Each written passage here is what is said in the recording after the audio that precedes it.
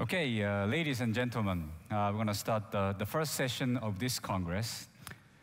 Welcome to the first session of 28th Planetary Congress. The first session of AC Congress traditionally deals with the theme of each Congress. And this year's theme is inspired by space. All of the space explorers were inspired by space to fly, and in turn, we will inspire new generation to space. Today, our speakers include a few astronauts who will share their recent space experience and Swedish scientists with vigorous motivation for space education and a very, very lucky winner of the presentation competition for this particular session.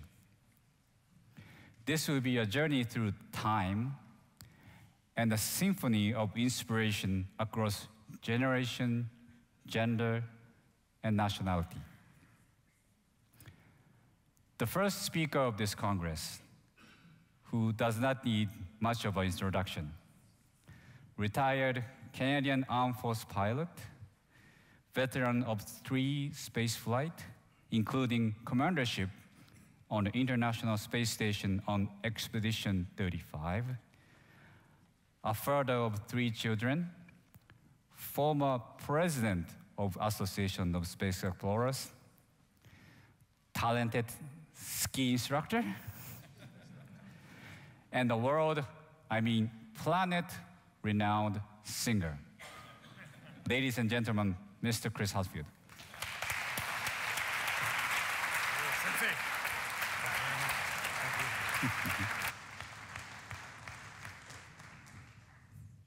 Thank you, uh, Sensei. Thank you very much. no, no. Uh, so I think it's a, a wonderful position to be able to kick off the discussion of Inspired by Space. Uh, the whole fundamental nature of inspiration itself. Uh, we are all the direct result of what inspires us. And, but what's more important, I think, from inspiration is not just the, the grandiose ideas that come from inspiration, but how it affects our behavior, how it changes our decision making, and maybe the actions that we take, how they can uh, affect the decision making and, and the choices that other people make in their lives. So it's a, a delight to have a chance to be invited, Christer, to come and be part of, of the week's proceedings in Sweden um, because of how it fits in directly with what inspiration can do for us all.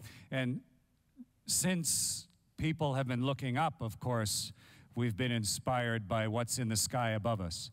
Not just the idea of it, but, but the mental exploration that comes from, from inspiration. Looking up at something as simple as the moon or, or the planet that, uh, that glows a little bit red in the distance and looking at Mars. And, and coming from that inspiration, there are uh, different levels of how it affects us as a species, how it affects us as a society. And we, we celebrate it in different ways. If we look at um, at, in our popular media. We, this movie that, that's just coming out right now with The Martian, it's really just a ramification or an example of the, the inspiration, the, the pushback of the edges of our imagination of what might be possible. And, and we dramatize it in books and we dramatize it in movies. But even more important than that is we then actually make it part of, of the practical, um, knowledge bearing things that we do as a society. And with each level of inspiration and each action that follows, whether it's, uh, it's a book or a movie, it then inspires another whole generation to a different set of action. So, like uh, Curiosity driving around and teaching us, finding water flowing on the surface of Mars recently, flowing down some of the hills, and the incredible things we're learning about that planet, all through one long continuum of inspiration. And of course, the moon for, for the previous generation was immensely inspirational. It drove so much of the initial stages of the space program. And uh, both in science fiction with what Arthur C. Clarke wrote and, and uh, the movie 2001 A Space Odyssey, but far more importantly, the reality that came from that, that same era of so many people in this room that contributed to the direct, both robotic and then human exploration of the moon itself, laying the groundwork for where we are right now.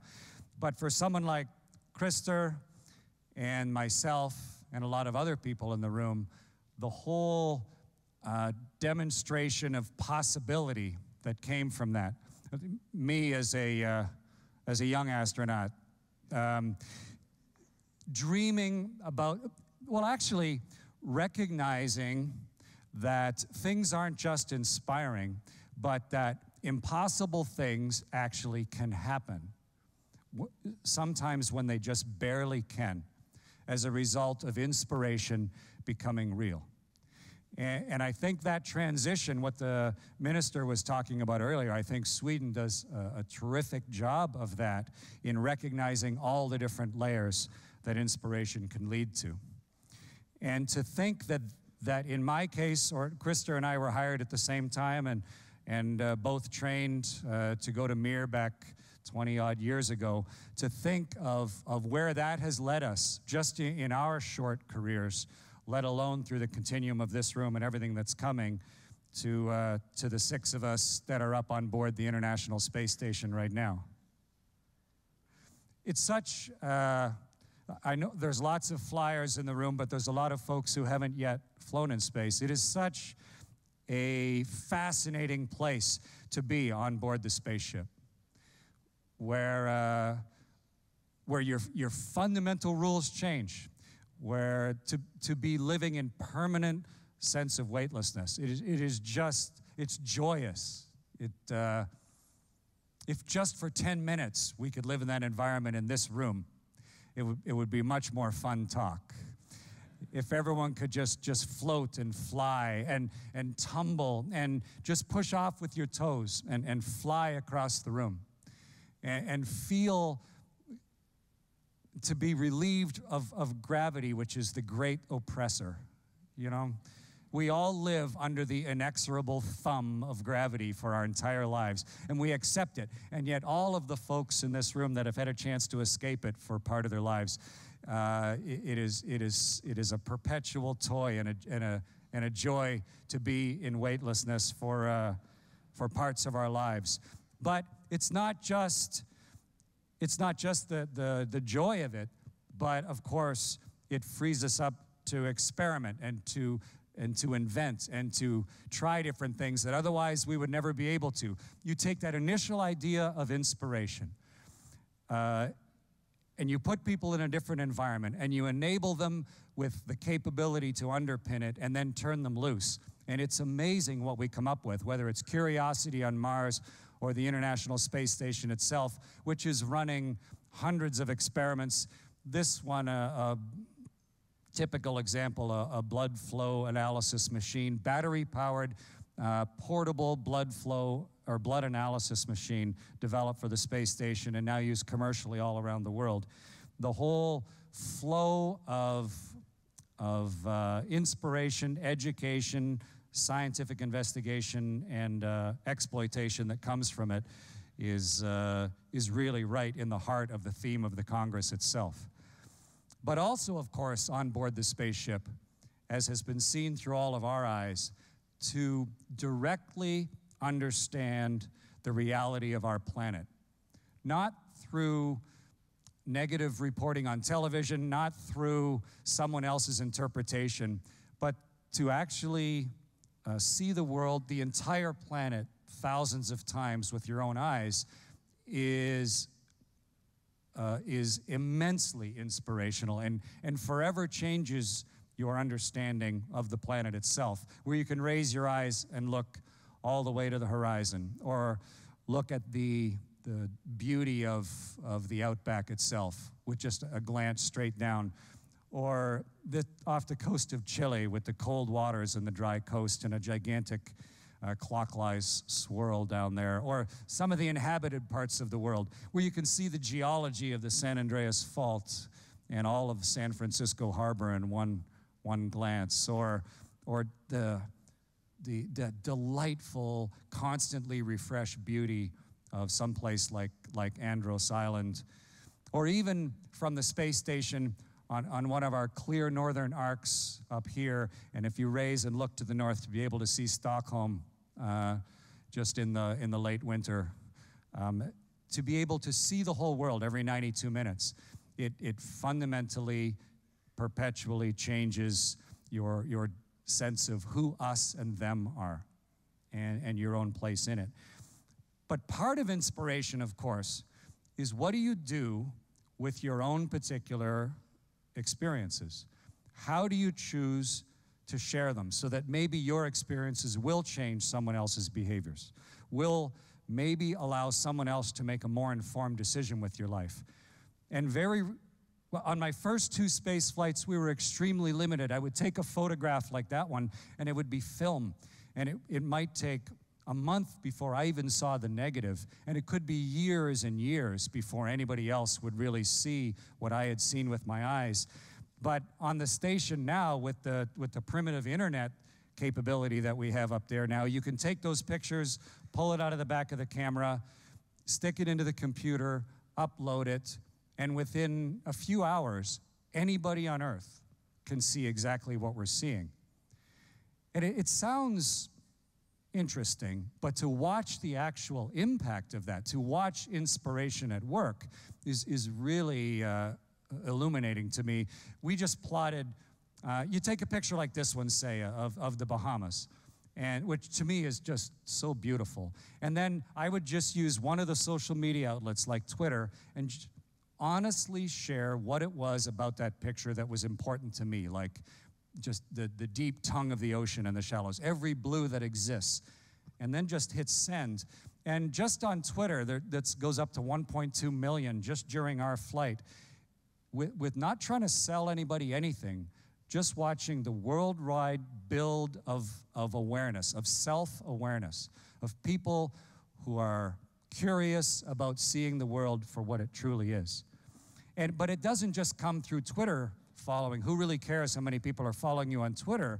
But it evidences this is one of the space station science websites. And uh, red was before our particular launch, and green was after we launched. People change their behaviors. People, their curiosity turns them into somebody slightly different. Your particular level of, of feeding their inspiration changes their understanding of the world itself. And, and to me, that's really, really vital in amongst everything else that the space program does. Allowing people to see the world more clearly is perhaps one of the most important.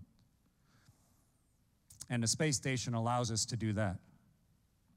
Some of the experiences, right from Alexei 50 years ago, right through all of us who've had a chance to walk in space, that experience trumps all of them, where there is it's very professional, it's extremely complex, the risk of danger is elevated, but the experience is so much more personal, so much more tangible. You're alone in the universe, and there's nothing between you and, and everything but just the, the curve of your visor. And that, that sense of, of where we are, both physically but also historically, is immensely palpable. And how do you share that experience with everyone? How do you let other people benefit from what is still, I, there's only been 200 of us, I think, that have ever been outside a spaceship on a spacewalk. To try and share that with the other 7 billion people, I think, is really important.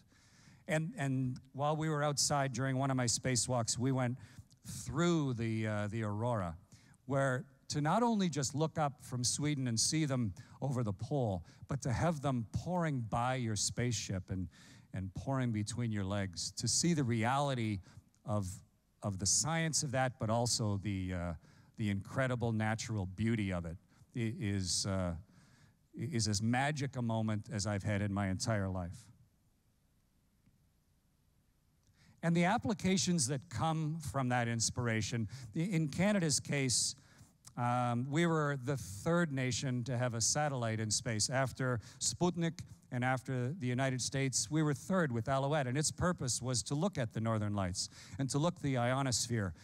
But the reason I mention it is um, when you inspire people and then you give them the education and the means to start pursuing their inspiration, they invented a, a, deployment mechanism for a satellite on this thing that became very profitable, uh, that little sounding antenna, which formed a company in Canada that was called SPAR, Special Projects and Applied Research.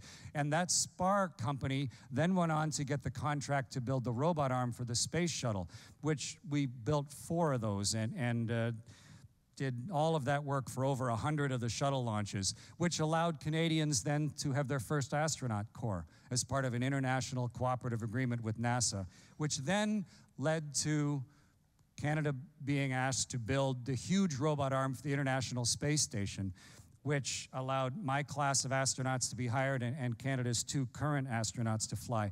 But it, it doesn't just stop at space inspiration and space applications, all of the um, mathematics that go into the control algorithms of this huge arm and the design of the offset joints are used in uh, nuclear power plant robots, they're used in deep mining robots, but they're also used in medical robots. This is in Calgary, and it's a two armed granddaughter of the of the Canadarm that's on the space station, and it does brain surgery. And the surgeon sits in another room like an astronaut, and and the, the both the patient and the robot arms can be inside an MRI machine. So the surgeon gets gets full three-dimensional visualization of the surgery that they're doing.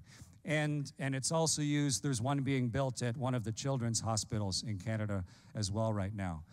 And when you say inspired by space.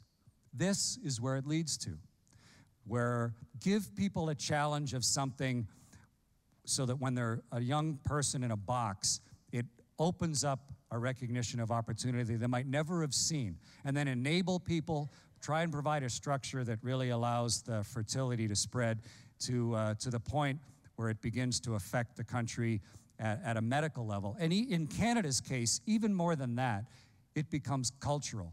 It becomes who we identify with as a nation, so much so that, in fact, it's, it's on our, our, our smallest bill. Our most common $5 bill in Canada is we celebrate uh, that space accomplishment as one of the main cultural underpinnings of us as a nation.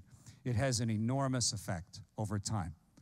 And, and it all comes from the initial inspiration.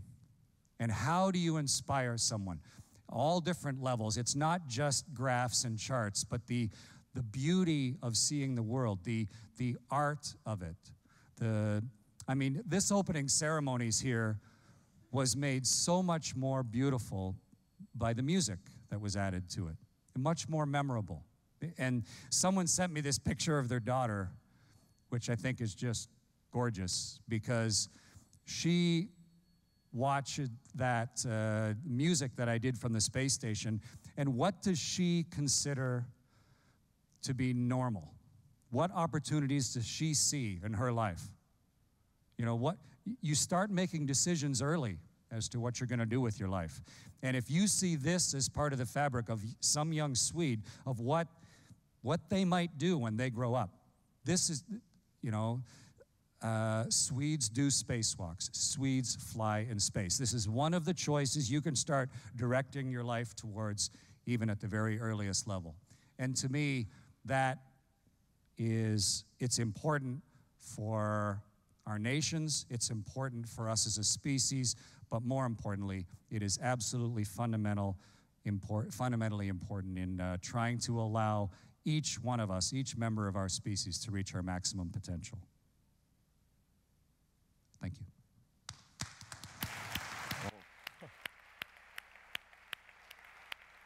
Thank you.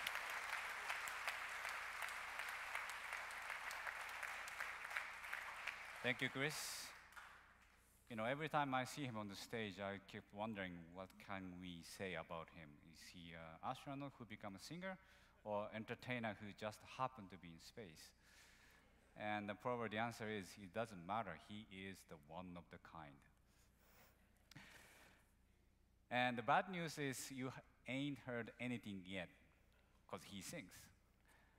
And the good news that uh, he will sing this Wednesday. Are you right? Yeah.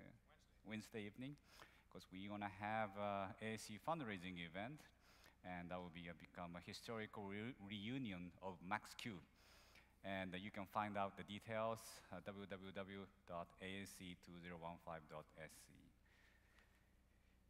Now, every Congress, uh, we will invite the most recent flyers on stage to give us the most uh, uh, up-to-date information what's happening on International Space Station.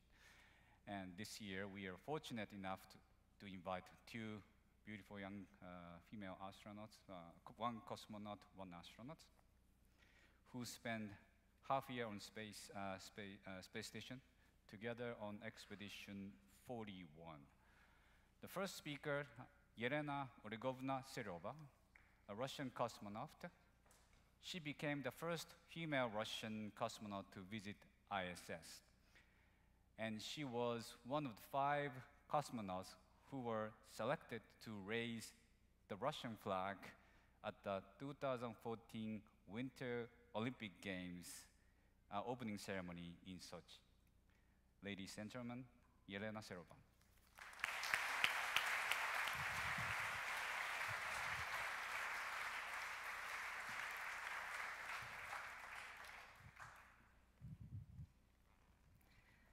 Ladies and gentlemen, thank you. Uh, I will speak Russian and uh, позвольте мне представить вам uh, небольшой обзор по экспедиции 41-42. I'd like to offer you a brief survey of our recent expedition. Экспедиция началась 26 сентября и закончилась 12 марта. The expedition started on the 26th of September and ended on the 12th of March. Она длилась почти полгода. So it lasted almost six months. Здесь вы можете видеть командира корабля «Союз» Александра Самокутяева, You see our commander, Alexander Smakutyaev, борт-инженер Барри Вилмарт, flight engineer, Barry, Барри Вилмарт Barry Newmark, и я, Елена Серова. and myself, Elena Serova. Все эти полгода мы работали вместе. So we worked together throughout all these six months. Конечно же, многие спрашивают, чем вы занимаетесь все эти полгода? Of course, we get many questions. What were you actually, what have you been doing throughout these months? Список довольно-таки большой, We have quite an impressive list of activities here, но позвольте обозначить самое актуальное. but with your permission, I'll indicate some of the activities which are the most relevant, uh, in my view. Мы встречаем корабли, которые доставляют экипаж, грузы и научное оборудование. Uh, we meet the arriving spacecraft which deliver cargoes and we welcome the new crews. Мы обслуживаем все системы станции, We service all the systems on the space station, следим за их состоянием. watching their condition and operation. И, конечно же, большая часть нашей работы приходится на различные эксперименты. And of course, most of our time goes to all kinds of experiments.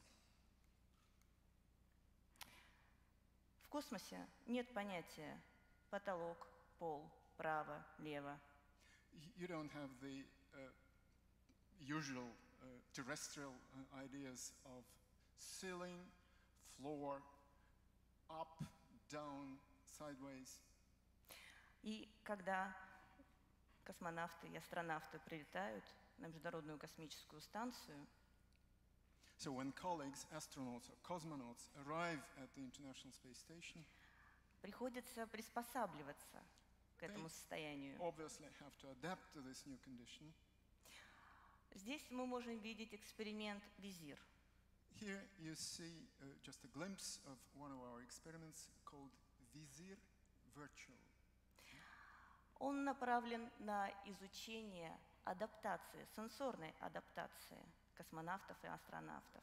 It was designed to study the sensory adaptation of the newly arrived astronauts and cosmonauts. Это очень важно, особенно в связи с тем, что скоро люди будут летать к другим планетам. It is, of course, very uh, important, uh, essential, especially given the prospect of interplanetary flights in the near future.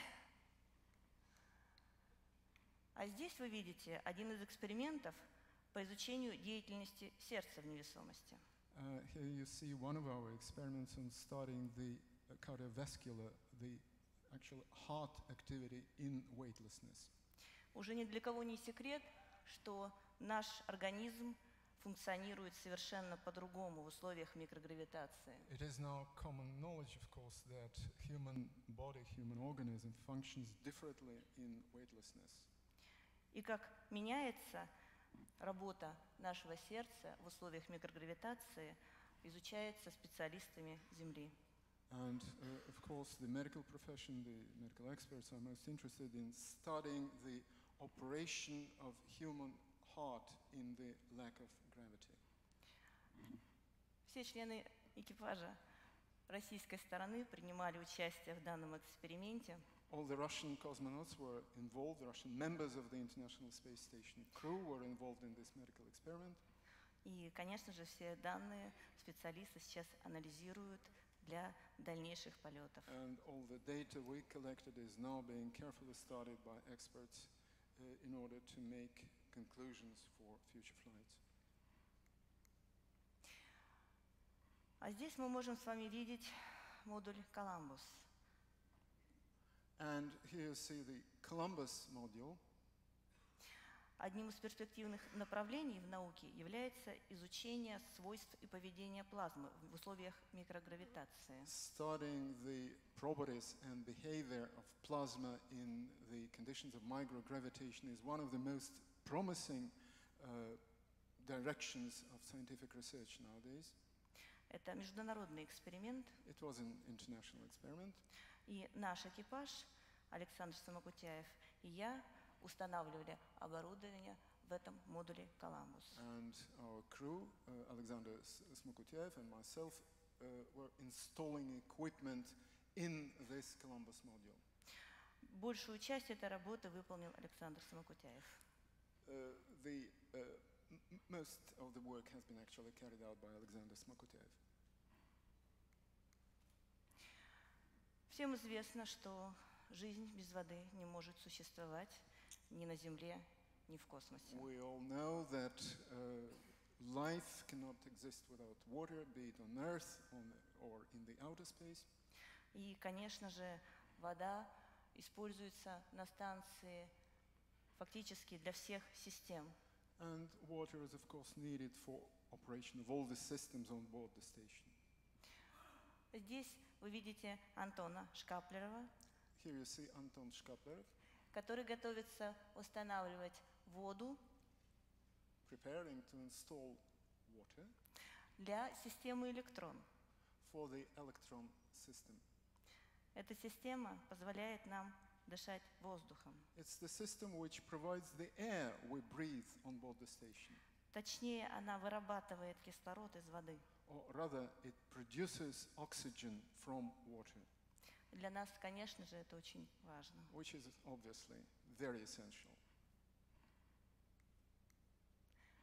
А здесь изображена передача двух укладок, Here you see uh, transfer of two packs где находятся пробирки с образцами белка. containing tubes with protein specimen. Получение новых чистых белков So obtaining uh, new clean proteins очень важно для медицины и науки. is very important for science and medical applications. Это позволит нам избавиться от страшных болезней, uh, which uh, eventually may uh, deliver humankind, uh, let us do away with uh, scourges, uh, with very dangerous diseases получив новые лекарства.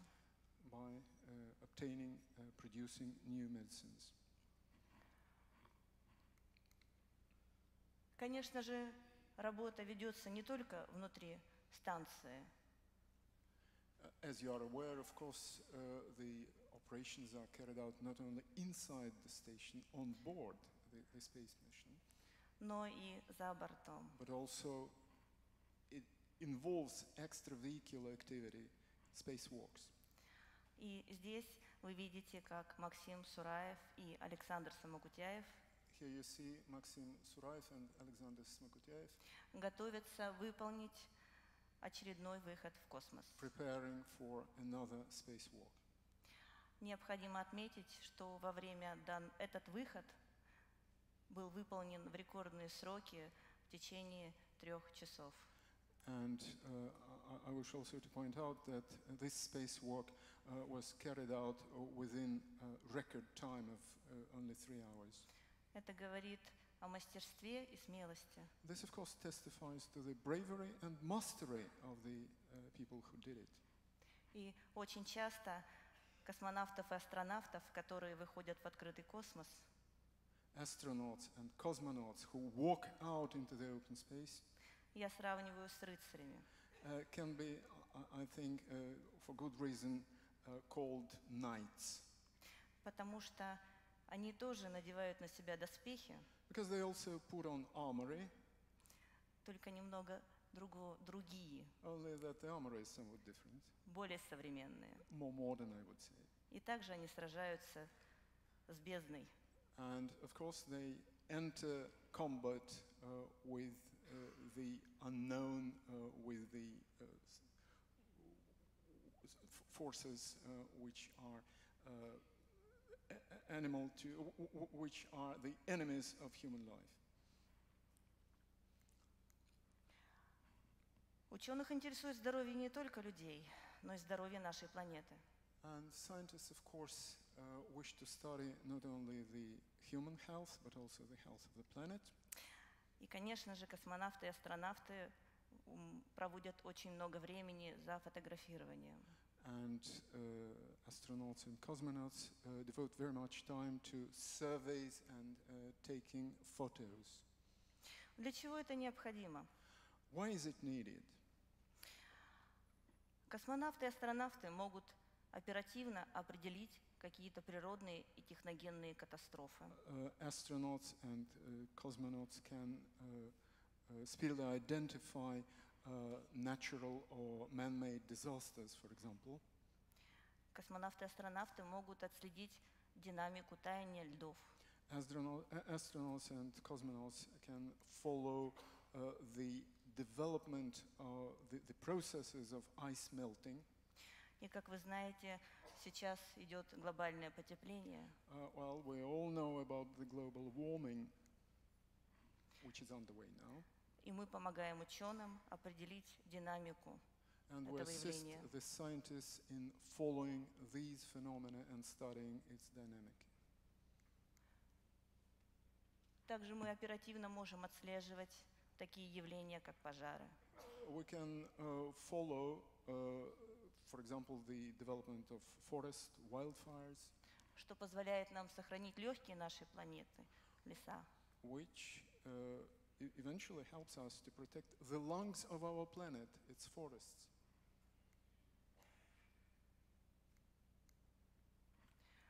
Очень большую часть времени мы посвятили ледникам Патагонии. We devoted a lot of time to the glaciers on, uh, in Patagonia. Здесь вы наглядно можете увидеть таяние ледников.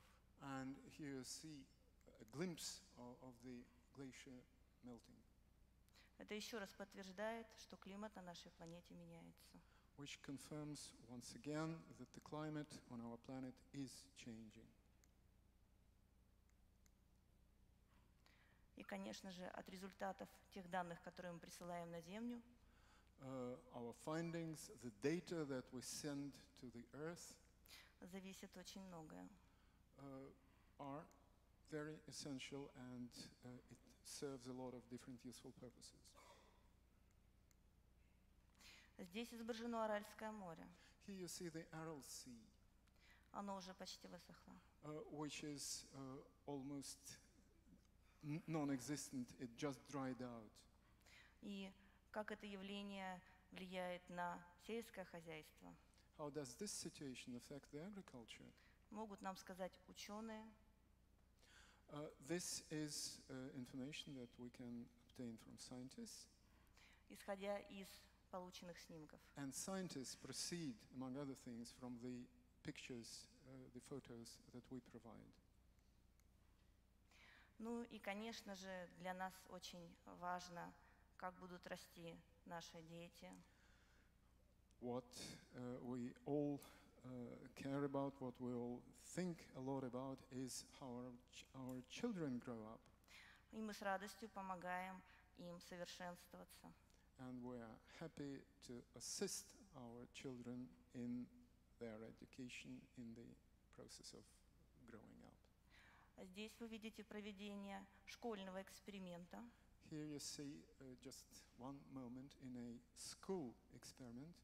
по получению новых полимеров в условиях Uh, микрогравитации. The purpose was to obtain new polymers uh, in the uh, weightlessness. И я очень надеюсь, что многие школьники и студенты в будущем продолжат наше дело. And I do hope that many school students, university students will continue our work И сделают новые открытия. and make new discoveries. Спасибо большое. Thank you very much. Thank you. Молодец.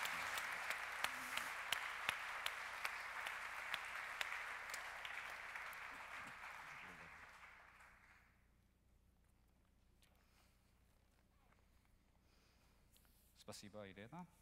Next speaker, uh, Samantha Cross 40, also on Expedition 41 and 42, uh, Italian uh, uh, Space Agency astronaut, Italian Air Force pilot and engineer. And now she holds the world record for the longest single space flight by a woman, 199 days and 16 hours. Samantha, yours.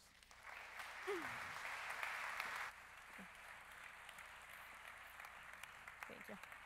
Thanks a lot.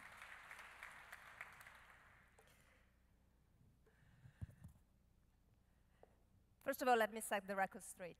200 days. That's my story. I'm sticking to it. Jokes apart, ladies and gentlemen, and dear colleagues, it's a pleasure to be here and trying to give you, in the 15 minutes they gave me, um, a very brief glimpse at uh, our time in space. Um, oh, I, I'd like to mention that probably some of you have seen me limping around uh, uh, today and last night. It's not a consequence of being in space 200 days. I was fine up there. I was fine when I got back. I just had a fight yesterday with my room at the hotel, and the room won for now, so my, my toe is in need of some repair.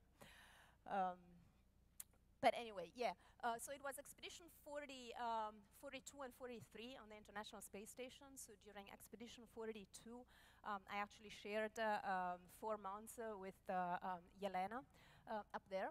Uh, but at, in the, at the European Space Agency in Europe in general, we have this tradition of actually picking a name, our own name for our time in space.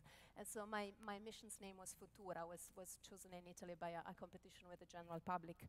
Um, it's, a, it's a name that I kind of like. It kind of hints to, to the future, right? We're kind of laying the groundwork for the future with our, with our work in space. And uh, I'm going to focus a little bit uh, on, um, on our, you know, the work that I did as a European Space Agency astronaut and um, as an Italian Space Agency astronaut. Um, a lot of it uh, happened in the Columbus module, which is uh, our piece of Europe in space. It's the, um, the ESA module up there, the ESA laboratory. Um, and here you can see it uh, from the inside. And if you can look real well back there, that's me playing Superman, which is kind of nice. You know, we do a lot of work up there, but being able to do that while uh, playing Superman 24 hours a day is kind of cool. Um, this is one of the experiments I did. It's called Drain Brain, um, which is um, an experiment that was developed in Italy. And it's a very interesting one because it looks at uh, how does weightlessness affect the return of the blood from your brain towards your heart. It's one of the million things in the human body and in biological systems in general that are affected by weightlessness. And that's why it's so cool to do research up there because all of a sudden you see things that you didn't know would happen. It's cool for us astronauts and for people in the future who will go and explore beyond low Earth orbit and sp spend more time in space. But it's also cool for people on Earth because all of, all of a sudden you understand a lot more about how the human body works on the ground as well. You, you get a lot more fundamental knowledge of how the human body and biological systems in general work. And that helps you, for example, in medicine, diagnostics, therapy, and all that kind of stuff. And this is a good example because um, we, we um, got an initial insight into that mechanism of blood flow, but we also tested and uh, flight tested a technology that will probably be used in clinical applications soon, which is a little plethysmograph, a little collar you wear on your neck, and is a very simple way of measuring blood flow. And I'm not going to spend as much time on every experiment, but I thought that this was a really good example to spend uh, um, a minute on. A um, lot of things we do up there also is um, getting samples like blood samples, urine samples, more samples. I'm not going to go into details. Um, because again, we want to understand what happens to the human body up there. So that's a blood centrifuge. And this is our Melfi, it's our freezer up there. Unfortunately, we cannot keep ice cream in there because again, there's other stuff blood and urine and so on, um, cell tissues, um, different types of biological samples that are frozen down to almost uh, minus 100 degrees Celsius until they can hitch a ride back home. Um, other things astronauts are um, involved with is when you have to build big facilities. This is MARES, is one of our biggest facilities in the Columbus module, and it's meant to study muscle atrophy. And uh, it's a lot of work to put it together, so uh, luckily I always liked Legos as a kid, and so I, I like assembling things. Um, so that was fun. Um, this is the Kubik, and uh, I call this a little jewel because it's a very simple, easy to use, quick to use, cheap facility, also developed in Italy. Um, and it's an incubator, a portable incubator and centrifuge. And so we can run a lot of uh, um, uh, life science experiments in there, putting them in, putting cell cultures and tissue cultures in, in little experiment containers.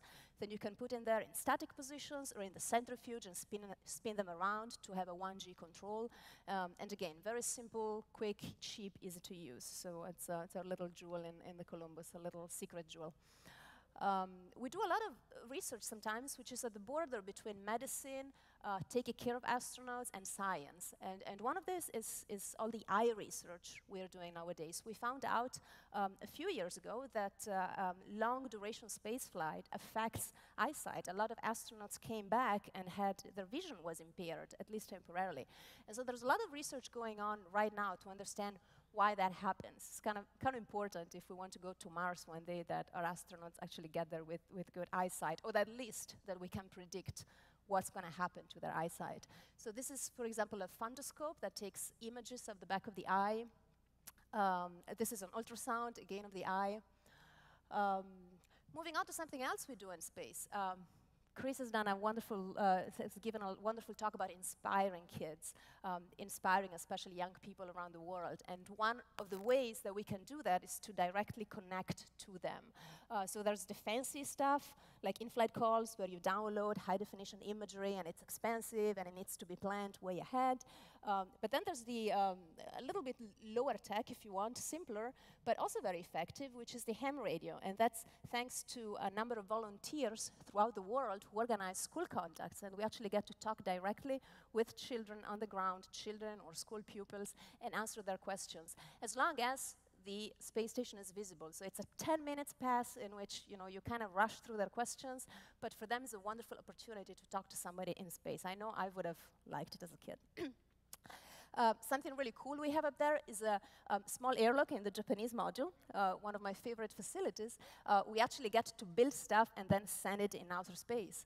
Um, this uh, is called the robotic refueling mission, and I got to assemble um, this whole thing. And then you know, the slide table that you assemble them on, you can slide it back into the airlock, close the airlock, depressurize it, open the other side, slide that slide table out, and then the Japanese robotic arm comes and grabs it. So here you can see a kind of a cool picture, I think, looking outside. So you can see the table is, is on the outside, and this is a satellite. It's not the same than from the previous picture. And then the Japanese robotic arm will come and grab it and deploy to orbit. And a lot of times, it's not big satellites like that one, but small, tiny little CubeSats. Like if you pay attention, you can see it right there in front of the solar panel.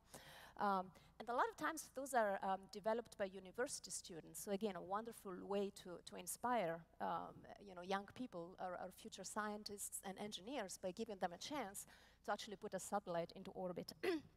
this picture was taken from my favorite place on the space station, uh, probably every astronaut's favorite place, which is uh, the cupola. And uh, the cupola, of course, is a place where we take a lot of pictures from, but we also have the robotic workstation in there to fly this guy. Chris mentioned it um, earlier, the, the Canadarm2, the, the big robotic arm of the space station. And I had the, the chance of being at the controls of the robotic arm. This is how it looks. You know, you have a translation hand controller for XYZ and rotational for PTO and roll. And, uh, and you can really see it from, from outside the window, so that, that that's kind of cool. And uh, what I got to do was to capture this guy, which is a Dragon spacecraft. So what happens is that resupply vehicles like Dragon or the orbital Cygnus or the uh, Japanese HTV, they come to the space station. So they launch and then they find uh, the space station out there in space and they come and start to fly formation with us. And uh, so about at 10 meters distance, and then from inside, with those hand controllers that you saw, we fly the, the arm and go and grab them, and then actually the ground attaches them to the space station, and all of a sudden you have an extra room. And then about a month, a month and a half later, after a lot of cargo operations, a lot of science that needs to happen while the Dragon is docked so that the samples can go back to Earth, then it gets released and, and, and goes back to planet Earth. Um, we also had, while we were up there, the um, ATV number five, the very last ATV. ATV, of course, is the European um, resupply vehicle. Um, a bigger vehicle can, could carry uh, sorry, seven tons of, of, resupply total. And of course, a very different operational concept. Uh, we didn't have to go and grab this one. It actually docked all the way automatically on its own to the space station. And as I said, it was the very last one. We sent it home back in, in February. And this was the last view that we caught of what was left of ATV as it re-entered the atmosphere. um, during our expedition, there were also three EVAs that my colleagues Butch Wilmore and Terry Virts got to do, so I'm not sure which one of them is out there, but it's, it's, one of them out there in the darkness.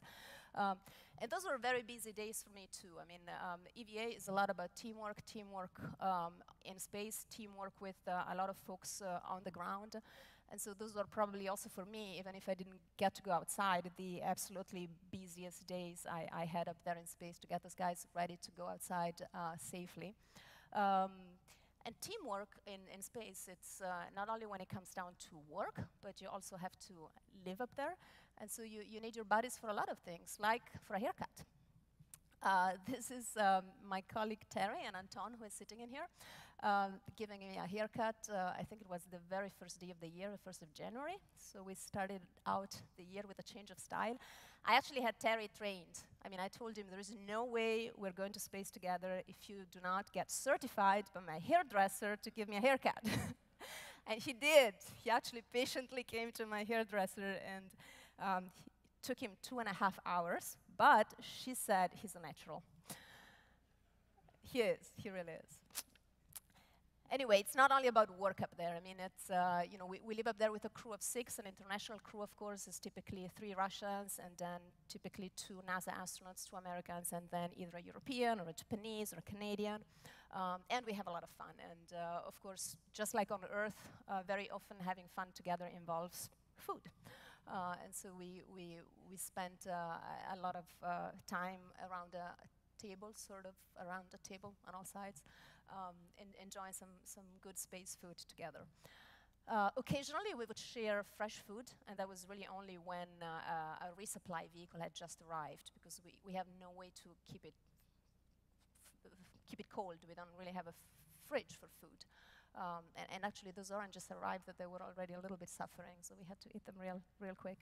Um, water is a big deal up there. Um, Yelena already mentioned it. Um, on the um, US, uh, so non-Russian, so US, European, um, Japanese part of the space station, we try to recycle all the water, uh, which means that we actually eventually drink our own urine, but only after it's gone through a very, very efficient reprocessing, uh, reprocessing system. So it, it, it actually, if you think about it, that's what the Earth does, right? It reprocesses waste into potable water that eventually falls down from the sky, so it's not much different than that.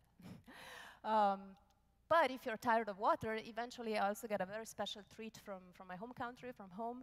Towards the end of the mission, I got a, um, an espresso machine. S yeah, seriously. Wasn't bad at all, I tell you. and so that was kind of cool, of course. And uh, it, it, became, uh, um, at least as long as the capsules lasted, which they didn't send many, um, it, it, was uh, a good, a good, uh, a good opportunity to take a break together. Talking about free time, again, the cupola is, a, is a probably everybody's favorite place to, to spend some, some free time and take pictures of the Earth. So in the couple of minutes I have left, uh, I'm just going to show you a few, um, a few more pictures. Chris has shown you already uh, wonderful pictures, and I'll just add a few from the ones I took. this, you can't probably appreciate it fully because there's a lot of light in here, but um, this was one of my favorite things on the space station. So sometimes when I would go in there and it was night, but at the same time there was maybe like a full moon, and so actually the Earth was really bright, like in this picture. You can't see it, but there is stars, so it's actually night, but the, the, the Earth is really bright. And so somehow my brain did this shift automatically. I didn't have to do it, but all of a sudden it felt as though the Earth above me was like the sky, and the horizon was curved the, the opposite than it normally would. And then the space station was like this ship, this vessel that was gliding on this dark sea full of stars. So it's kind of cool. I felt like, you know, in, in the old ages, the, the old explorers sailing through the ocean. It's really cool. um, other special moments, of course, sunrises and sunsets. We, we, we got a lot of those, and uh, they're very magical in, in space. Auroras are, are wonderful um, to watch. The colors of the Earth, I mean, the, the, there's a, it's amazing. I mean, we call it the blue planet. True, blue is kind of dominant, but there's so many other colors, like, you know, green, this is uh, Brazil, I believe, and then the blue, this is the Caribbean, which is very unique. I mean, very, very captivating um, blue in, in that part of the world. Uh, the red of uh, Northern Africa or Australia. Um, and then there's the light. I mean, sometimes you think that there is nothing, and then a hint of a moon glint or the sun glint comes, and then there is all this, um, you know, artwork of, of, uh, of water that you didn't even know was there. Um, some things are really intriguing. Like uh, this is a lithium mine in South America, but if you didn't know it was a lithium mine, you thought the, the, the aliens had landed there and created kind of base. But um, weather phenomena are amazing, especially like we, we saw a few really gigantic typhoons down in the Pacific Ocean. I, I, had a chance at some point to take this picture where you can actually see the eye of the of the cyclone lit up. This is night, but the the eye of the cyclone is lit up by a, by a lightning, which was uh, um, very interesting. I'm told the meteorologists went, went crazy about uh, this picture. Um, one of my favorites, I, I, I, grew up in the Alps, and so one of my favorite views was uh, the, the Alpine Arc, the Arc of the Alps, um, especially during the, the winter. So somewhere in there, I actually grew up. Um, and then images like those are just beautiful. They, they, they convey this sense of peace, and uh, um, they want you to look at human affairs on a larger time scale, not, not, not tomorrow, not next week, not next year, but like looking at problems and you know, looking at projects in, in a longer time scale because you, you kind of think that Earth has been there for a long time and hopefully will be around for a long time. Uh, if we can solve a little bit of problems that we still have living together and taking proper care of our environment, but I'm confident that we will live together on the spaceship Earth for, for a long, long time. And I'd like to conclude with this picture that uh, I didn't take. I think it was crewmate Terry, but uh, hopefully you can recognize Scandinavia and uh, out there towards the north, a wonderful aurora with the first hint of light coming there on the horizon. Thank you very much.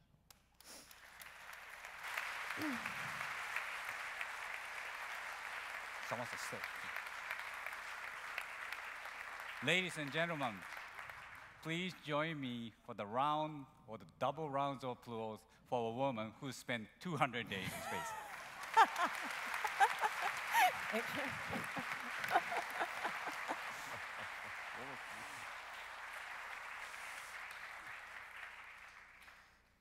Well, after these extremely inspiring talks about how it is to live and do research and inspire from near Earth's orbit, when I move out much farther, uh, we'll have a speech, The Art of Visualizing the Universe. Your Excellencies, ladies and gentlemen, I have the honor to introduce the professor in scientific visualization at Linköping University, who has a background in astrophysics and is passionate about space since the age of six. Anders Ynnerman. Oh, there Thank you you. are already. Quick. Thanks, Tristan. Thank you. Great. So, thank you very much for the opportunity to come here and speak and uh, share my visions and a little bit about uh, my inspiration uh, of this fascinating topic, space and space exploration. I'm going to do that in a slightly different way. Um, many uh, people before me, speakers, have actually stolen my, my opening picture, but I think it's a little bit unique anyway. So I'm going to show you step back in time, as many of us did back in the 1960s. And this is a picture taken in 1969 that I'm going to show you. And this is actually a picture of myself. This is Christmas 1969. You know, uh, it's six months after the landing on the moon. I'm there. I'm being inspired by space, uh, and my life is all about space. I, you know, the space helmet I got, I refused to take it off uh, between Christmas and New Year's. Uh, but we could open the visor so I could eat through the.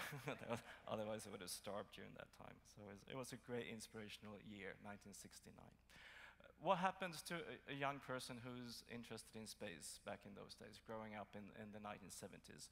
Um, you get access to maps of the stars. I'm sure you've all had these fluorescent charts of the, of the sky. Uh, you go out late nights, you get a telescope, and you start exploring space. But everything is sort of very difficult to appreciate as a, as a young mind is trying to understand the universe, understand space, what is it all about, what's the difference between planets and stars. Everything like that is very, very hard to do. Uh, you grow up, um, uh, uh, you become a physicist, um, uh, you become an astrophysicist, uh, you want to become an astronaut, you compete with Christer Fuglesang to become the first Swedish astronaut, but you lose. so what do you do instead? Well, uh, you become a visualization expert. Uh, because that's a way of looking at space and making images of space without being able to travel yourself. So, um, so this is a picture of, uh, of the famous uh, Hayden Planetarium in New York. Uh, and back in uh, 2001, they had just produced a wonderful fly-through, a video of a fly-through of the Orion Nebula. Uh, but it was a video playback. And I said, well, I'm an expert on graphics and physics and visualization. We should do this in real time. We should fly through the stars, go far away, look at the universe, but we should do it in real time, just like a computer game. And I said, no way, we can't do this because universe is big, our database is called the digital universe, we can't do this in real time. I said, yes, we can. So I sent a few students over there, and after a few years, uh, we had a piece of software uh, called Uniview. And this is a real-time visualization of the universe as we know it. Uh, and if you come to my center uh, back in, in Norrköping, I couldn't transport you all down there today. We have one of these planetarium domes, but it's not a, video playback dome, it's an interactive dome where everything happens in real time. So um, usually it looks like this. Uh, you come there and you can visualize the universe in the dome in full stereoscopic vision and everything like that. And if you're lucky on a Saturday, I will be there uh, talking to uh, high school kids, to families about space and sharing my inspiration uh, with them.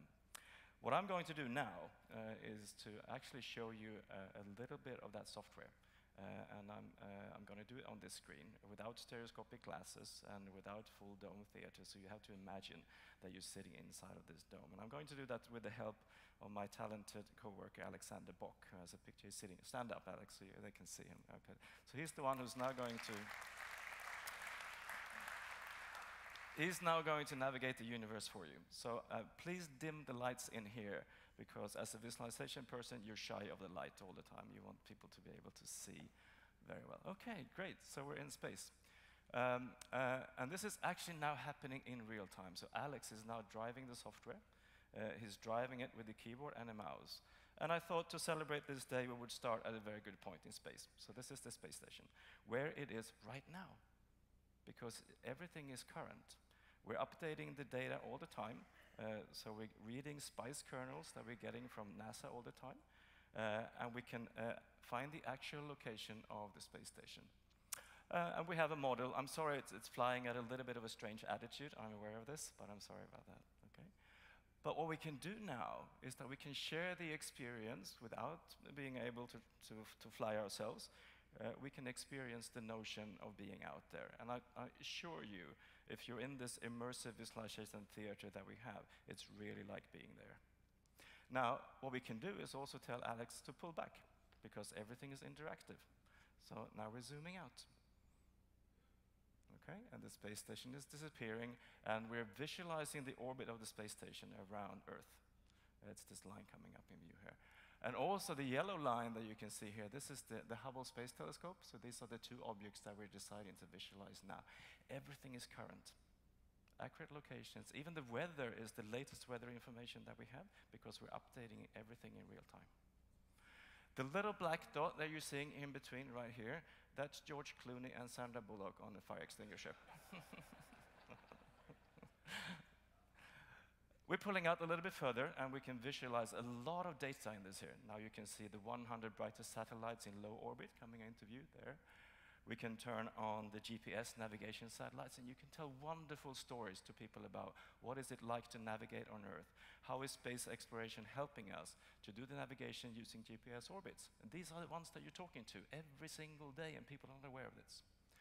Even further out, you find the geostationary orbit out there. You can turn on the magnetosphere, you can talk about the bow shock, you can talk about space physics, about space plasmas, the impact of coronal mass ejections on Earth, everything like that, in wonderful stories that you can share uh, with uh, a very different variety of people, ranging from small school children uh, to retired people coming to look at this. This is just the beginning of the exploration, so we'll pull out. Uh, normally we go to the moon and we look at the Apollo landing sites and stuff like that, and, and, and we can do that offline if you're interested, and we can talk about that later. But look at this, now we're out. Here's the whole solar system. And everything is in the current locations right now. But what happens, and you know, this is where it goes back to me as a six-year-old, trying to understand the dynamics of the solar system, trying to figure out what are the planets, uh, how, how are they moving on the sky, everything like that. So, uh, but one of the problems is that we're getting very big because, you know, oh, we're, we're looking at the stars and there are the planets, they're very small. And this is the part of the show that I really love because I can tell Alex, make the planets bigger. There they go, all right. So now we enhance them by a factor of 4,000. Uh, and now we can visualize them. But what's even better is that we can play with the dynamics. So now we're really playing God by turning a little bit of the time. So let's turn time on. And now you can see Jupiter starts rotating. 10 hours is one day on Jupiter. Now you go faster and faster and faster. Earth starts moving on the inside. Mercury is going around 44 days around the sun. Now Venus has just passed Earth on the inside, and, Earth is catching up with Mars. And I'm beginning to sound like a sports commentator. And that's the magic of being able to show these things, that we can play with the dynamics and we can create an understanding for the dynamics. We can also visualize uh, other interesting uh, aspects of the solar system, not only the planets. You see those uh, little spots there, those are the potentially hazardous comets. Those are the ones that within the next 2,000 years, there's a finite probability that they will collide with Earth. And then we're talking a big impact. Uh, but I'm not worried at all because, you know, if there's such a comet heading towards us, there's always Bruce Willis. We send him out there and he will, he will take care of that for us. So. But you, you can visualize the, the database by turning on all the comets. So that's, uh, sorry, comets and asteroids. Look at them. Here we go. Right? And we can pull, even pull outside of the solar system uh, and look at them. And we, now we're turning the clock, so we're looking at months per second. And now you can see the dynamics of comets and how they're moving around. See how they're swinging around sun? Looking like a slingshotting around and going out on the other side. And this is all in this wonderful visualization. You can go to different places. So let's pick a planet, and we can uh, maybe jump to, uh, to Mars, Alex. We'll set the, set the controls for Mars. We'll go there. And uh, we'll just zoom in on that. So here we go, very, very quickly. And everything is interactive, as I said. So the, the autopilot is now navigating towards Mars. Uh, we're getting closer and closer, and eventually you start resolving the two moons. Phobos and Deimos are coming into view, uh, and we get this wonderful view of, of the planet Mars. And if we're lucky, we can find some interesting places as well. Okay, great, Alex. You put the Valles Marineris right on the, uh, on the side there. Okay. So this is one of those things that we also can do because everything is based on scientific data. Uh, so these are images coming from the Mars Odyssey that's been orbiting around Mars for many, many years, sending pictures back. What we also can do is to switch the representation to very high resolution images. So that's what we're doing now. And we're zooming in on the Valles Marineris. And here we have three-dimensional information as well, because we have radar images. So what I can do is to invite my audience to come uh, and look at this uh, Valles Marineris flight through and pretend to be a Mars uh, astronaut or cosmonaut or even a Mars tourist uh, 100 years from now, uh, flying in a passenger airplane above the surface of Valles Marineris. And, and, this is a pretty amazing thing to do. We can go visit the various spacecrafts, you know, the, the, the Curiosity, we can go and look at that if we want to, but we don't have time for that now. So let's take off, Alex, and fly out. Because space is very, very big, so we'll continue out. Now, what we're going to do is to leave the solar system. Uh, and of course, what we're going to do is to measure our distance in terms of the speed of light. So we will be moving outside of the solar system. Uh, when we leave out there, we'll be about uh, 10 light minutes away uh, from, uh, from the sun. Uh, here we're 10, 10, light hours away, and now maybe even a light day away, and we'll continue outwards.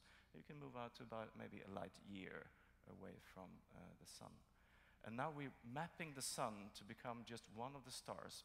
And this is, for me, one of those magical moments when you're beginning to understand that stars, they're not really mapped out on a two-dimensional surface. They're actually in a three-dimensional space. So what you're seeing now is the constellations. Here we go. Uh, and as we're pulling out, something happens to the stars. Uh, you can see the twins up there, Pollux and Castor, and all of a sudden our nearest neighbor, uh, Alpha Centauri, shows up about four, four light years away from us. And everything becomes a three-dimensional space. And this is when you begin to understand that these constellations are just tying together stars at a distance ranging from maybe uh, a couple of light years up to 100 light years away from us. And the constellations, they turn into this hedgehog of stars. Out here, we can visualize other things, the new scientific data, because everything is generated in real time we can turn on things like the exoplanets because we have data representation. So every single star that now has this blue indicator around itself, we know that there are planets. And there are more and more coming into the database all the time. We can even fly and visit the Kepler system if we wanted to and look at those other planets that are out there.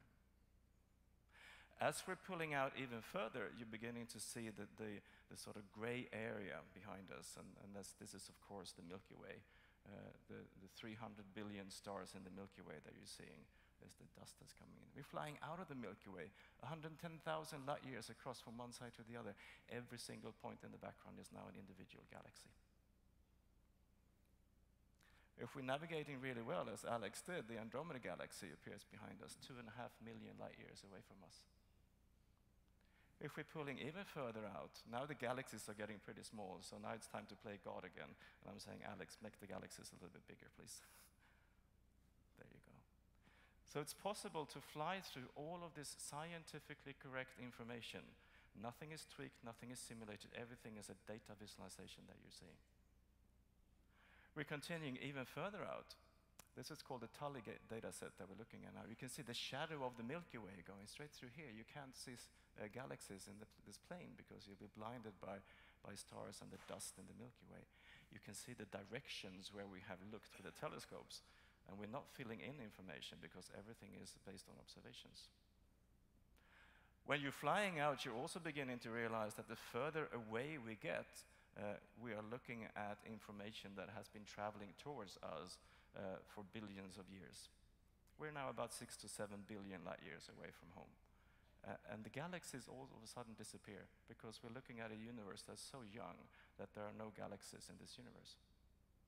But instead, we can see quasars, and those are the green dots.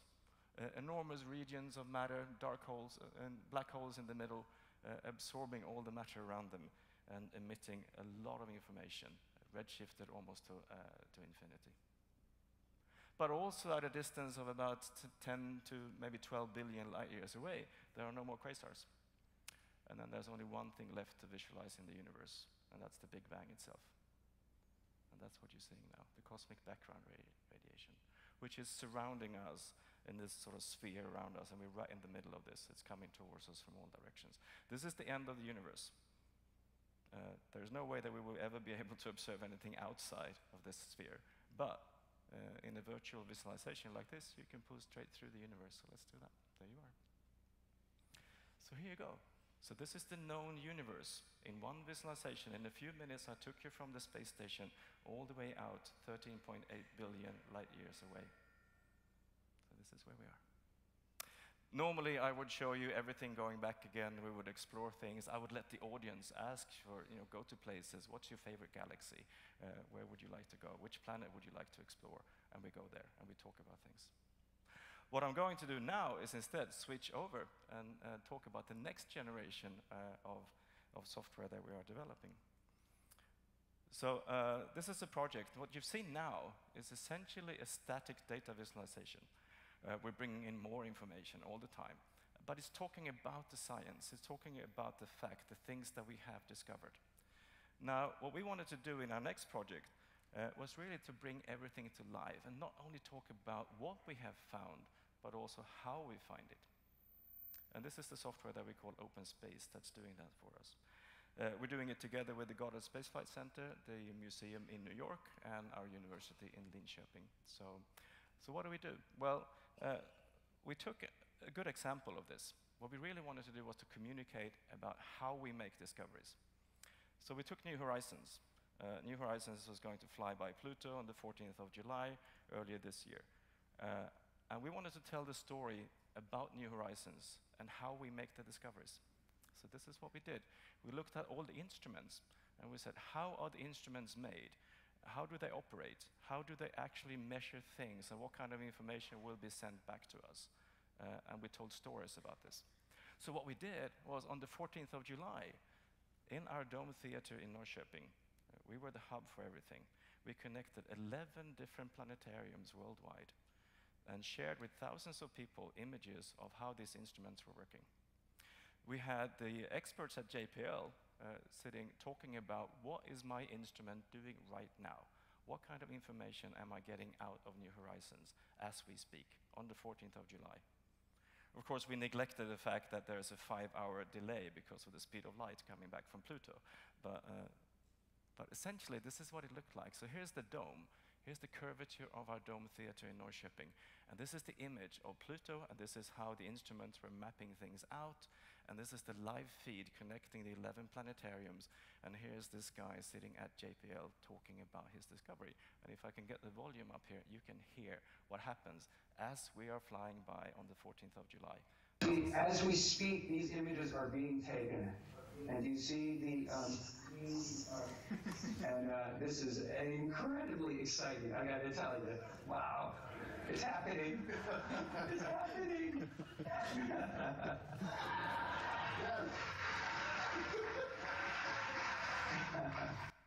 so the person that did all this uh, actually could share with, with us, the thousands of people worldwide, his instrument looking at Mars as it was flying by.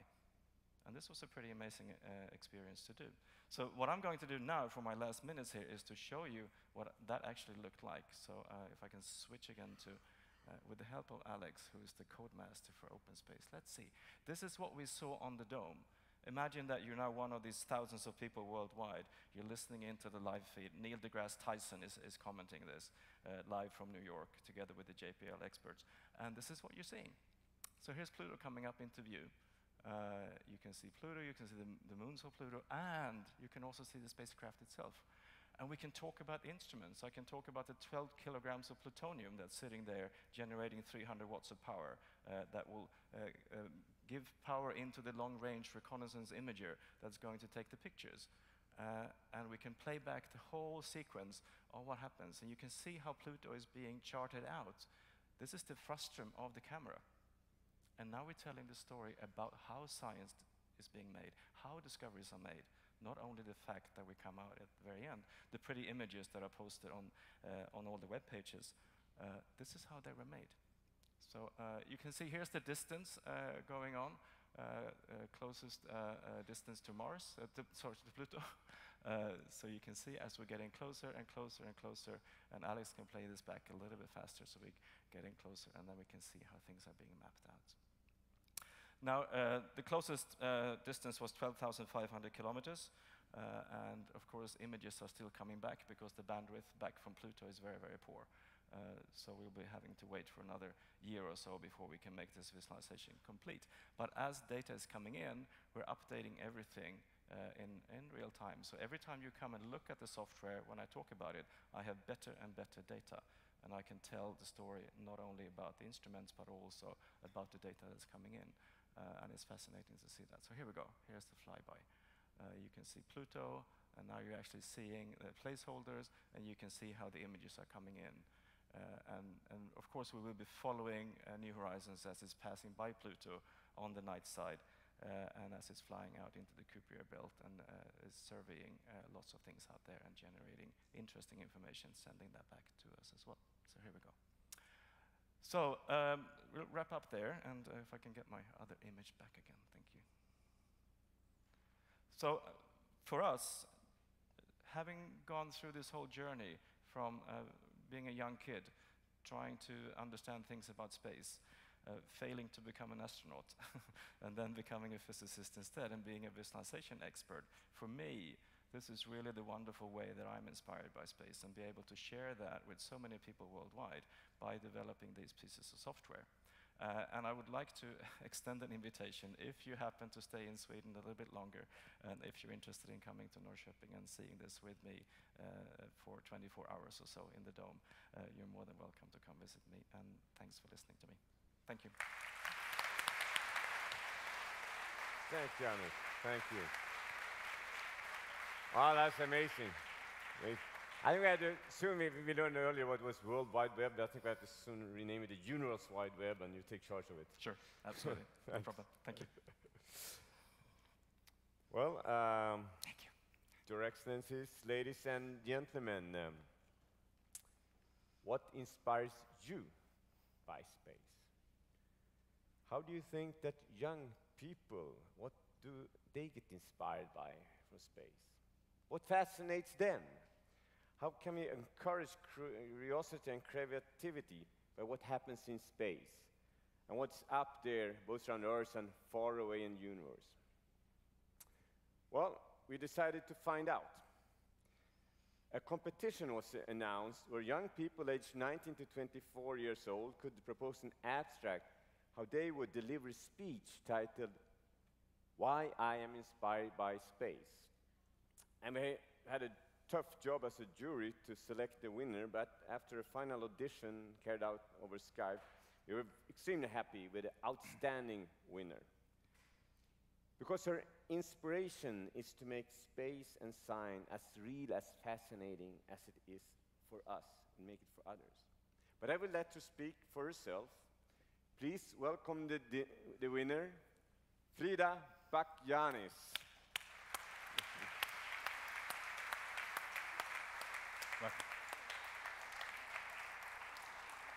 Good luck.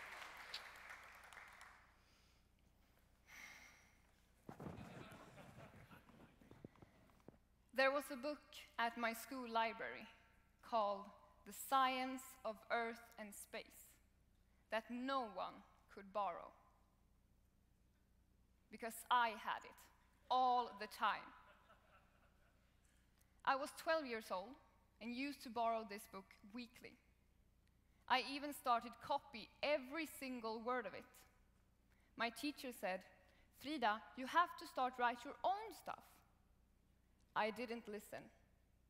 I was determined to learn it all by heart. You are living my dream. I've always wanted to become a scientist. I wanted to work with astrophysics, marine biology, archaeology, and of course, to become an astronaut. My mind was set on the world of research. However, things do not always turn out the way you dream they will. Eventually, I ran into some major math problems. My relationship to math was not an equation I could solve. No matter how hard I struggled, after two years of intensive work, I finally came to the heartbreaking insight that I wouldn't be able to proceed into the field of physics and fulfill my dream. It was hard at first, and I felt very lost. I was back to square one. After these disappointments, there was still one thing that still remained space, and the love for the infinite and the unexplored. So even if I was not brilliant enough to become a scientist or an astronaut, my passion, curiosity, and fascination for galaxies and black holes was still there. During these times, it was the internet that kept my passion for space alive. I started watching everything about space.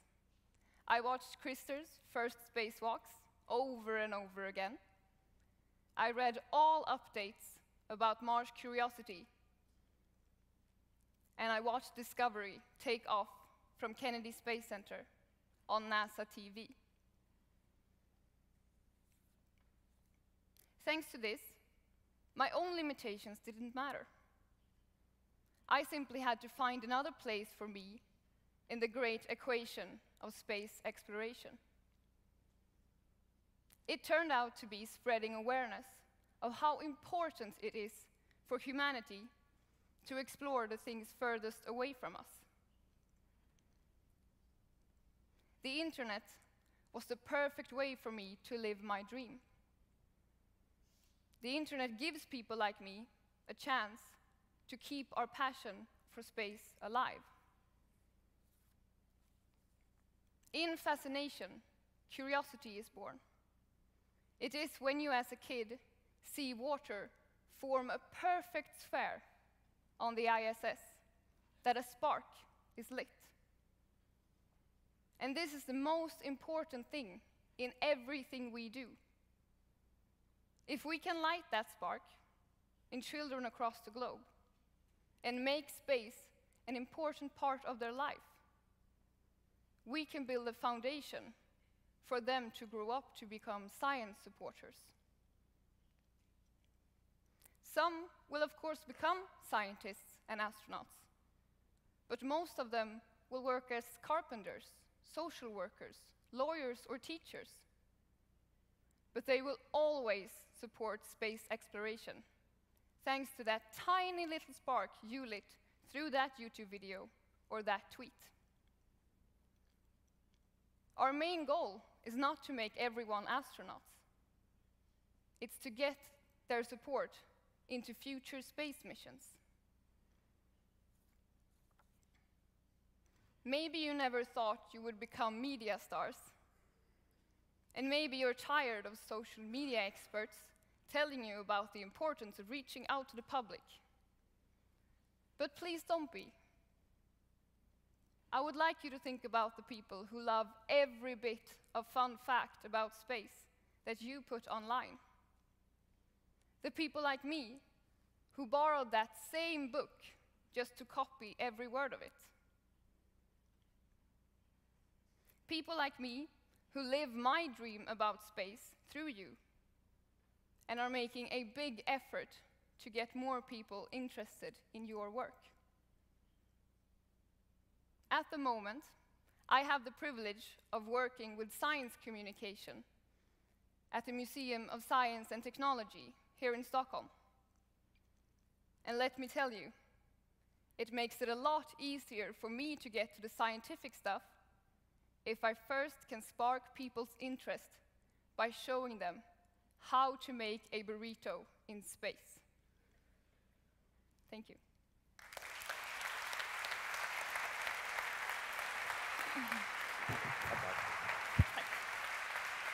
Hey, stanna kvar. Suveränt.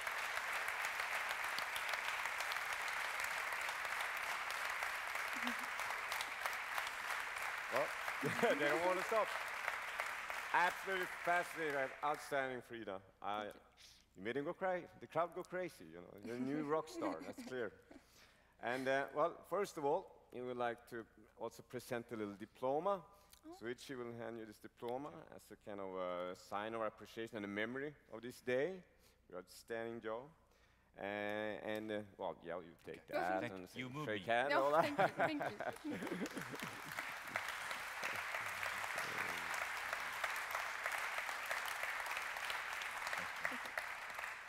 And I also would like to thank uh, Ledarstudion and Lena Ahlström there who helped with implementing this uh, competition and gave you very good coaching Yeah. for this, which was part of the prize. And an additional part of the, what you won was to follow us the whole day and including dinner tonight at Vasa Museum. And you were allowed to invite a friend with you. Yes. Who did you invite? I brought my mom. So Oh, that, that is wonderful. All right, so, well, thank you again. And uh, this actually ends our, uh, concludes the theme session inspired by space. And uh, the next session of speeches will be uh, Advances in European Space Exploration, a joint technical session with uh, IF, the International Astronautics Federation, will take place at KTH, the Alfvén Auditorium F1, between 2 and 4 o'clock. And welcome there. I just want to say one final thank you word, and that's actually to the biggest sponsor and uh, helper of the whole uh, Congress, and that's the Knut and Alice Wallenberg Foundation, who really has put in a lot for us. And uh, with that, big thanks and hand for everyone, including them. See you at KTH. Thank you.